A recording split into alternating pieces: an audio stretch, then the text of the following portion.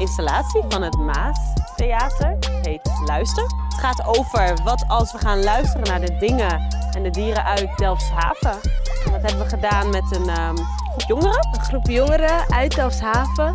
En uh, we hebben ze de vraag gesteld, wat nou als de dingen en de dieren in Delfshaven een stem krijgen? Wat zouden zij dan vertellen? Wat zit er in hun? Wat hebben ze allemaal al gezien en gehoord en gevoeld en meegemaakt? meegemaakt? Waar hebben ze een mening over? Wat zouden ze willen vertellen aan de wijk? Uh, de mensen die hier uh, wonen, werken, lopen, wandelen, zitten.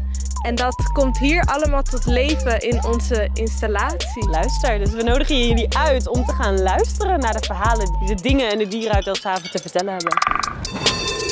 We kijken door ramen. Beramen en bekokstoven, verhalen geschreven, beroofd en veroverd. Beschrijven met bewegingen, bewegen door te luisteren. Luisteren met onze ogen en zien met onze oren. Hoor je ze? Luister je? Schepen voeren hier aan met goederen voor de bedrijven om mij heen. Lachend zetten de arbeiders voet aan land, blij om weer thuis te zijn. Ik was goed voor de mensen om mij heen, totdat de dag aanbrak waarop alles veranderde. Er kwam een mysterieus schip langs mijn kade tot stilstand.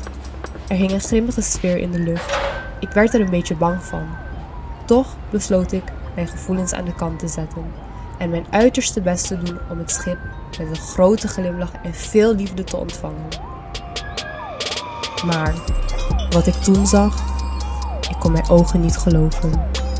Er kwam een groep mensen uit het schip: moeders, kinderen, mannen, allemaal vastgeketend aan handen en voeten. Zie je wat ik je zeg? Luister je?